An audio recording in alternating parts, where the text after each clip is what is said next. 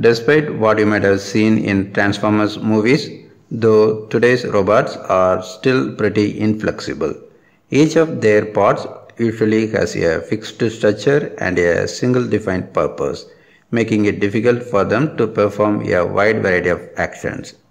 Researchers from MIT's uh, Computer Science and Artificial Intelligence Laboratory CSAIL are aiming to change that with a new shape-shifting robot that is something of a superhero. It can transform itself with different outfits that allow it to perform different tasks.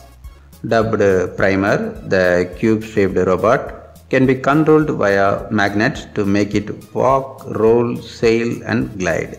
It carries out these actions by wearing different exoskeletons, which start out as sheets of plastic that fold into specific shapes when heated. After primer finishes its task, it can shed its skin by immersing itself in water which dissolves the exoskeleton. Primer's various forms have a range of advantages. For example, Wheelbot has wheels that allow it to move twice as fast as uh, Walkbot. Boatbot can float on water and carry nearly twice its weight. Gliderbot can soar across longer distances, which could be useful for deploying robots or switching environments. Primer can even wear multiple outfits at once, like a Russian nesting doll. It can add one exoskeleton to become Walkbot and then interface with another larger exoskeleton that allows it to carry objects and move two body lengths per second.